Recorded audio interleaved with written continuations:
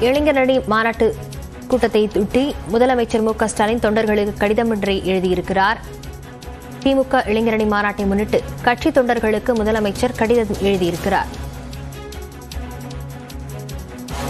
அண்மை செய்தியாக பார்த்து வருகிறோம்.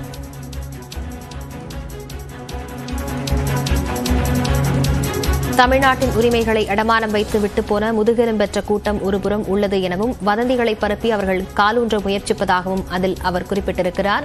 மக்கள் நலன் காக்க நாற்பது தொகுதிகளிலும் வென்றாக வேண்டும் எனவும் முதலமைச்சர் அந்த கடிதத்தில் வலியுறுத்தியிருக்கிறார்.